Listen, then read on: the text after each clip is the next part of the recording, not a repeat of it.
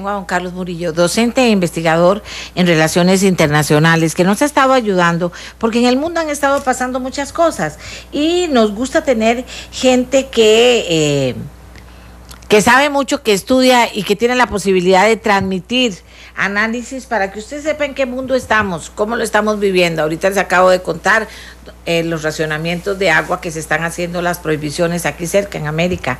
Eh, pero hay muchas cosas que están pasando en el mundo que nos deberían preocupar. Y se oye mucho mm, intercambio de opiniones, a veces no muy bien fundamentadas en redes sociales. Don Carlos Murillo, ¿qué le parece? No sé cuál cree usted, mejor comienzo de otra manera. ¿Cuál que usted qué es la noticia más importante sobre la que el mundo debería estar pendiente en este momento? Y después sí le planteo situaciones diferentes. Adelante. Ah, buenos días, doña Amelia. En la radio audiencia, en realidad identificar una, una noticia en este momento eh, relevante es, difícil eh, porque yo creo que el mundo está operando eh, simultáneamente en varios ámbitos. Sin duda, la situación en el Medio Oriente sigue siendo el punto fundamental en, en cuestiones políticas y estratégicas pero también tenemos los problemas eh, climáticos, ya usted mencionaba el asunto del, del, agua y aquí en nuestro vecindario el caso de Puerto Rico es de los más complicados, en donde hay racionamientos hasta de dos días en el mismo barrio, lo que evidencia ese, ese problema. Y sin duda, eh, las, los temas de las relaciones entre Estados Unidos y América Latina bajo esta nueva etapa de la gestión exterior de Obama, son significativos también. Bueno, vamos a, entrar en, en, en, detalles y no en generalidades. Grecia hoy, después de todo lo que se ha estado hablando en las últimas semanas, Grecia hoy, no la Grecia de Costa Rica, ¿verdad? Porque el otro día la gente me decía, pero tan mal están los de Grecia que en Costa Rica. Le digo, no, mi amorcito, es Grecia un país que ha presentado problemas muy serios que preocupan a muchas personas y que inclusive aquí en Costa Rica se ha insistido, don Carlos, tenemos similitudes, o sea, no nos está pasando lo mismo, pero tenemos inicios de eh, caracterizaciones que podrían llevarnos a vivir situaciones similares. Por eso me interesa situar a Grecia hoy. Sí, Grecia definitivamente es una lección para la mayoría de los países y yo creo que para el caso de Costa Rica es fundamental. Uno de los principales eh, problemas que tuvo Grecia, más allá de las causas de la crisis, fue el no haber utilizado cuando ingresó a la Unión Europea las estadísticas correctas. Manipuló muchos datos, sobre todo en materia fiscal y tributaria, para mostrar una mejor posición de la que tenía en ese momento y, tratar de beneficiarse del proceso de incorporación a la Unión Europea. Eh, igual en materia de, empleo eh, se hizo una manipulación de cifras y ahora se están viendo los resultados. El otro problema que es una que Grecia tuvo y que es una lección para el mundo, eh, Grecia es uno de los países en donde se trabaja más horas al día en términos de la cantidad de horas laboradas por cada persona.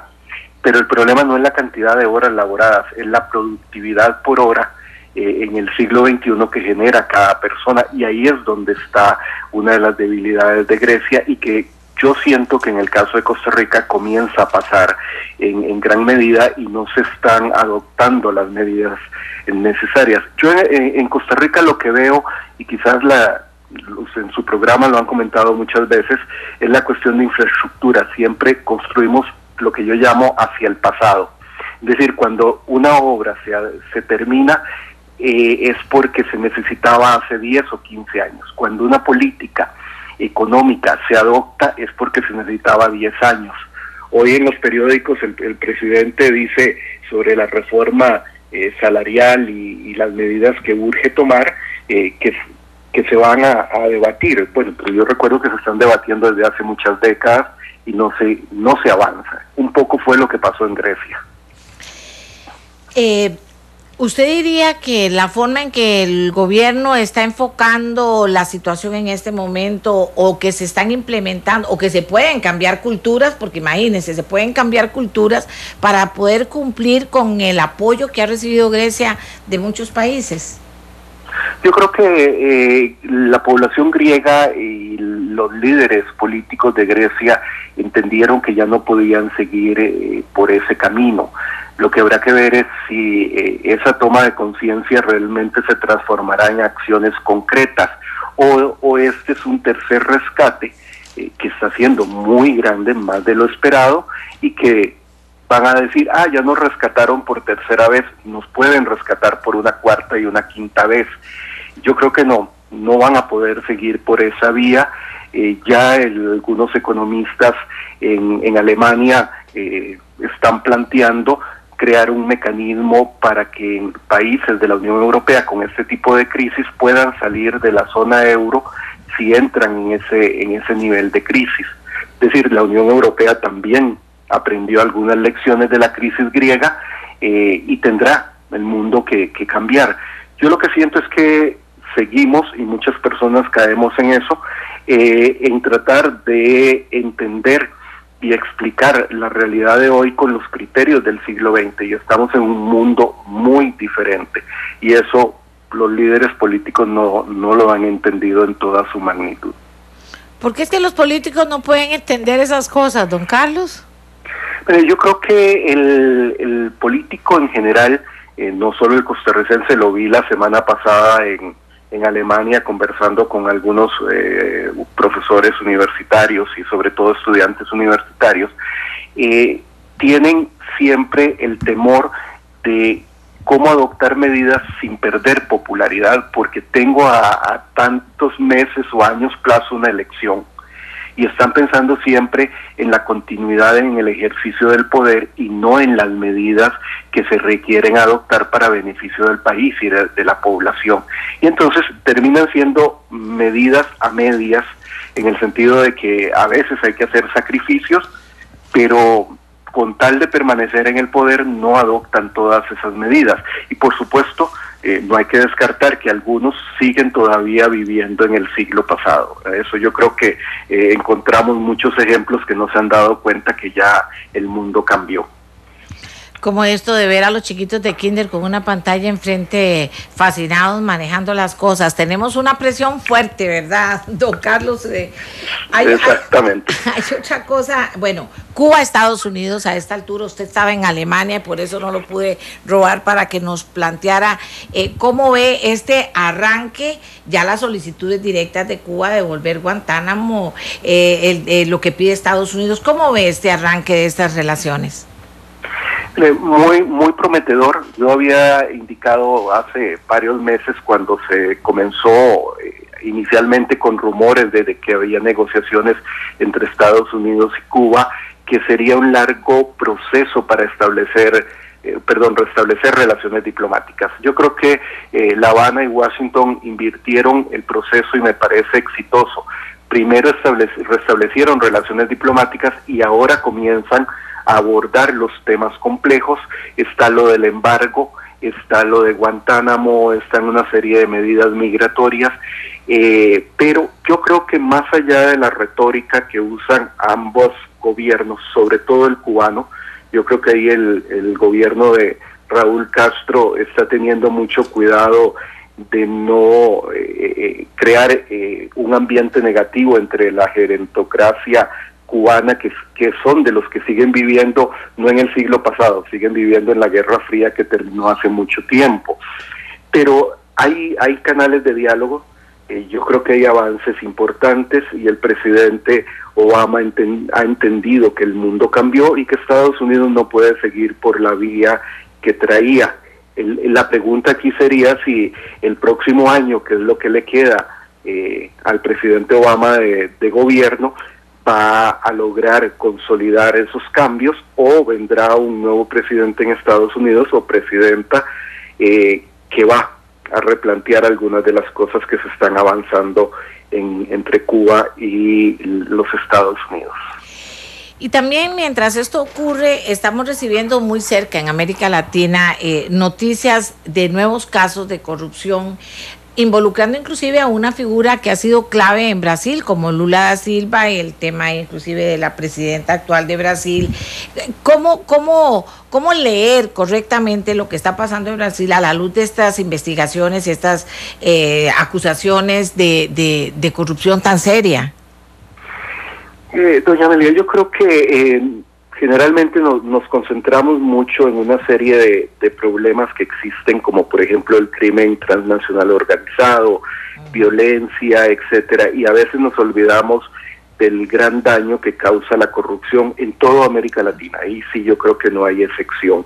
Y el caso de, Brasil eh, resulta paradigmático porque se trata de un gobierno eh, desde el, Partido de los Trabajadores, primero con Lula da Silva y ahora con Dilma Rousseff, que se suponía eh, se había vacunado ante los, las amenazas de la corrupción y esto demuestra eh, la necesidad de cambios muy profundos en los marcos normativos, institucionales, para combatir, así como se combate el narcotráfico, combatir la corrupción. Eh, yo creo que Brasil está dando algunas lecciones de los esfuerzos que hay que hacer para erradicar este tipo de situaciones, porque a como han ido saliendo a la luz pública los casos de corrupción en Brasil, uno esperaría que sigan apareciendo en, gran escala, ¿verdad? Y, y, Brasil se suponía un país que no presentaba en mayor grado ese, ese problema. Entonces estamos de nuevo ante un fenómeno que es eh, un poco la desaparición de las fronteras estatales y, el cambio del rol del Estado como actor a lo interno y actor internacional, en el sentido de que en Costa Rica siempre hemos pensado que somos una isla y que lo que pasa en el resto del mundo aquí no nos afecta. Eh, el caso de la corrupción en Brasil es prueba de que lo que pasa en el mundo afecta a todo el mundo. Así es, cada vez más. Bueno, y, hablando de corrupción o de posibles escenarios eh, que explicativos, porque todavía no hay una explicación coherente, el caso de del Chapo Guzmán en México y, y, cómo podría terminar afectando al gobierno, o sea, ¿se vale o no se vale? ¿Da pena o no da pena? Decía una señora. A mí me da pena eso que está pasando en México. Eh, ¿Cómo verlo a la luz también de la corrupción? Eh, yo creo que el, caso de México es una muestra de cómo lo que hasta hace unos años se llamaban los estados fallidos, ya el concepto prácticamente no se usa, eh, que genera problemas a todos los estados, a economías grandes y pequeñas, no es solo a estados pequeños como los centroamericanos, sino en general a las grandes economías y las grandes potencias. México es un estado totalmente fragmentado, eh, es un estado en donde la institucionalidad funciona en, capas y la corrupción ha permeado todos los, estratos. Yo creo que ya ahí no hay eh, posibilidad de decir que ah, determinado sector político no tenga alguna responsabilidad. Sin embargo, la preocupación mía eh, respecto al México, a México, sobre todo porque tengo muchos amigos mexicanos, eh, colegas con los que he trabajado en algún momento, eh, es que no se ha llegado a tomar conciencia de la necesidad de hacer algo de manera integral. Eh, yo he estado escribiendo últimamente y publicando sobre insurgencia no política y yo creo que los carteles del narcotráfico son un movimiento insurgente no político. Tiene fines políticos, pero no, no pretenden la toma directa del poder como los movimientos insurgentes del siglo pasado. México es un, es un nuevo caso paradigmático en donde mm, solo se adoptan medidas parciales, cada uno cree tener la receta para resolver el problema y la, y la solución es de toda la población mexicana, de todos los sectores. Eh, es un caso de lo que yo llamo eh, parte de los estados en el mundo transformado del siglo XXI que siguen operando como si fueran estados del siglo XIX, con caudillos que quieren mandar en su cantón, para ponerlo en términos costarricenses, eh, y se olvidan del resto del mundo y de que nada de lo que, de lo que uno haga aquí eh, va a quedarse solo aquí. Las redes sociales hoy no, no permiten que las cosas sean realmente locales.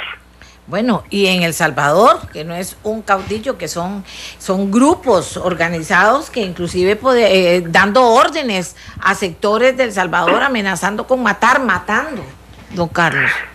El, el, Salvador, las maras eh, desde mi perspectiva, fueron legitimadas cuando el gobierno anterior estableció un pacto, un pacto eh, para evitar que continuara la violencia. Lo que hizo fue eh, decirle a las maras, ustedes son interlocutores del gobierno y si negociamos ahora, volveremos a negociar en el futuro.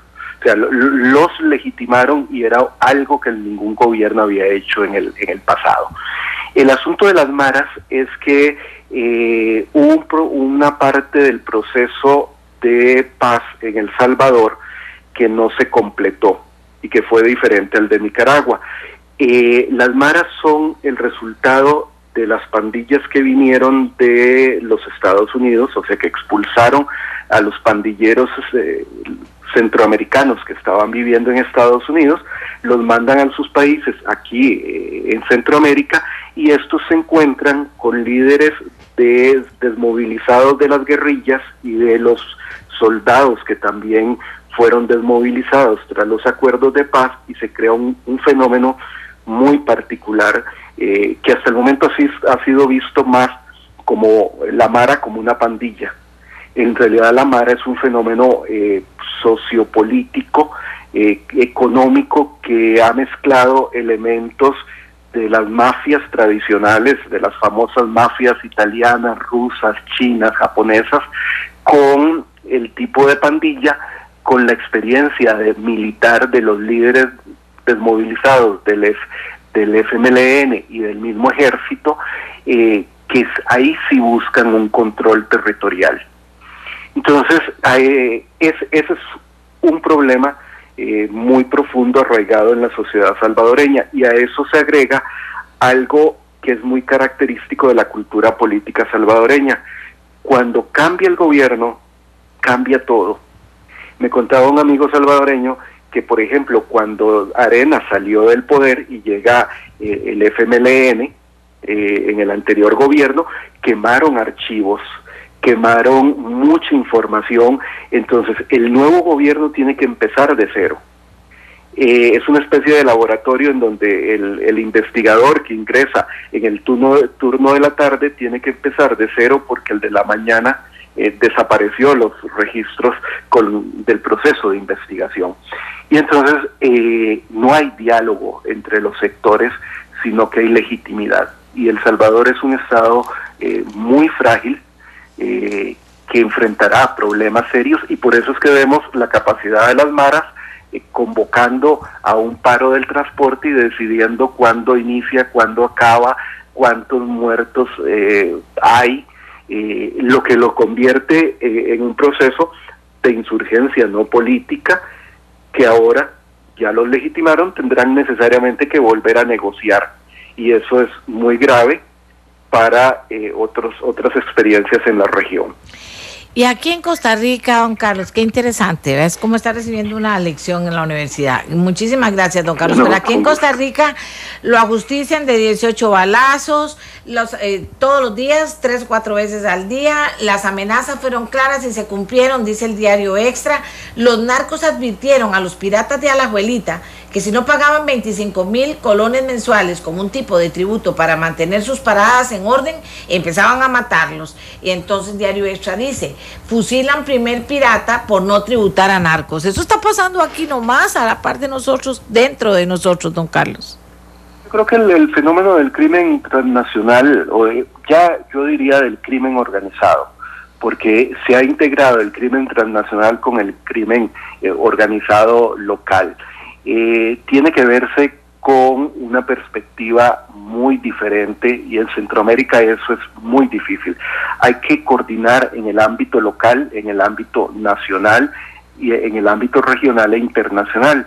O sea, no, no se trata en este momento solo de decir que estamos intercambiando información entre cuerpos policiales y cuerpos de inteligencia eh, en, en el caso de Costa Rica, sino que hay que coordinar muchas acciones eh, igualmente a lo interno. Y esto pasa por algo que en este, en este país es un tema que, que aunque se discute, para mí sigue siendo real, tabú, y que tiene dos, dos aspectos. Uno es que Costa Rica no tiene política de defensa. Eh, aquí se confunde que la, la, defensa es un asunto militar. La defensa no es un asunto militar. Uno, usted, doña Amelia y yo tenemos políticas de, defensa de que nos, nos eh, asomamos a ver si hay alguien sospechoso en la calle antes de salir. Y no tenemos que tener un arma. Costa Rica requiere una política de defensa, eh, que la política de defensa siempre se piensa hacia afuera, no, es política de seguridad. La seguridad es un asunto integral del Estado. Eh, y, y junto con la política de defensa está el asunto de la inteligencia exterior. Y hablar de inteligencia exterior en este país es hablar de la BIF y hablar de un montón de fenómenos que la gente no quiere escuchar. Pero ningún, ni, las, ni las personas, ni las empresas, y menos los estados pueden existir sin inteligencia. Se requiere un servicio de inteligencia profesional, no es policía secreta, ni es que lo anden vigilando a uno, no, es un servicio de inteligencia exterior que haga una lectura de lo que está pasando en el mundo, de lo combine con lo que está pasando al interno del país y se toman decisiones. Y el principal recurso, aún en Estados Unidos, Rusia y China, del, del, del servicio de inteligencia son los diplomáticos. Son funcionarios preparados para hacer seguimiento de inteligencia, análisis y remitir información. Y aquí hablar de eso, a, mí me han dicho es que eso es, eso es que está pensando en establecer un ejército. No, es todo lo contrario. Entre menos ejército haya, más política de defensa y mecanismos de inteligencia se requieren. Eh, Don Carlos, usted habla eh, reiteradamente y es correcto, ¿verdad?, de que ahora con esta globalización lo que pasa en cualquier lugar del mundo termina tarde que temprano por diversas causas repercutiendo, pero también a través de las redes sociales y a través de los medios de comunicación se aprenden comportamientos. Eh, eh, salvadoreños vienen aquí a entrenar gente, gente vaya y aprende a hacer cosas que tienen que ver con este tipo de actuaciones.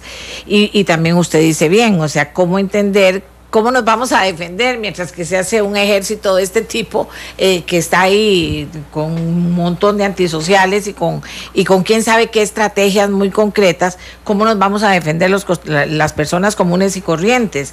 Y que eso no lo sentimos por lo menos en, en las conversaciones y en las preocupaciones de los gobernantes, ¿Qué hace una ciudadanía y un pueblo asustado por todo esto, don Carlos, dentro de las teorías que se manejen a nivel de investigación de, este tipo de hechos? Yo creo que eh, a mí, como, como ciudadano costarricense, de las cosas que más me preocupan es que seguimos en el fondo pensando eh, muy a lo costarricense que eso no me va a pasar a mí que eso es un problema de otros, del vecino o, del otro país, eh, y, no, y no actuamos como colectividad. Eh, además, eh, tenemos otro que para mí es un, un, defecto como sociedad en Costa Rica, es que cada, por ejemplo, cada agrupación político electoral piensa que su tesis es la única que puede salvar al país. No hay verdadero diálogo eh, y los problemas que enfrenta Costa Rica no se resuelven con la tesis de algún grupo particular. Es un problema de fondo de la sociedad y del Estado costarricense que requiere eh, un diálogo eh, del país, de todos los sectores. claro que uno, el hecho de que usted y yo nos podamos poner de acuerdo en algún tema no significa que abandonemos nuestras posiciones y nuestras metas sino que coincidimos en algunos aspectos para avanzar. Pero aquí, ¿cuánto tarda una ley en la Asamblea Legislativa? Eh, una ley que urge y que todos estén de acuerdo. No pensar en aquellas que no urgen y que cada uno quiere que sea su propia ley. Yo creo que el, país, eh, y aquí se requiere liderar, un gran liderazgo, el, país requiere eh, hacer un, profundo análisis, eh, no para crear un nuevo informe, sino para adoptar medidas concretas y enfrentar estos problemas de violencia que, los, que tenemos décadas de estarlos viendo y decía, no, eso no es problema, eso es tal persona que es solo ese caso aislado pero hemos visto que los casos aislados se han, sido, han ido sumando y se ha venido generando una situación particular. Muchas autoridades policiales están conscientes de esto y lo manifiestan, pero aparecen restricciones normativas o aparece falta de voluntad política y técnica y yo tuve en la zona sur de Costa Rica en un, proyecto hace algunos años eh, una de las grandes dificultades que, que para mí existen en el país, que es hacer converger la voluntad política y la voluntad técnica. Los, los tomadores de decisiones políticas tienen muy claro lo que quieren y los técnicos también, pero nunca se ponen de acuerdo y se rechazan mutuamente. Y, y este es un momento, una coyuntura en la que lo político y lo técnico deben estar de la mano, eh, junto con ese esa gran toma de conciencia de que no es al vecino ni es el barrio de al lado, que es un barrio eh, de, de gente de escasos recursos la que tiene los problemas, no es un problema del país y del país no como una isla, del país como parte del mundo.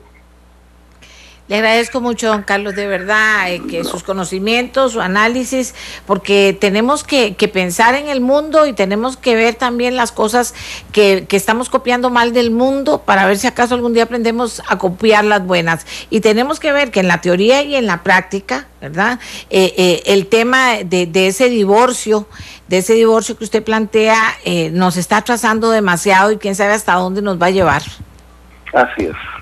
Muchísimas gracias a don Carlos Murillo docente e investigador en relaciones internacionales de la Universidad Nacional. De verdad, ojalá que a usted le haya interesado el tema y que tenga más elementos de juicio para poder conversar sobre esto, para poder ver, para poder actuar si está en tomar decisiones, para poder innovar, si puede estar en un campo de ideas que después se vean reflejadas en acciones concretas.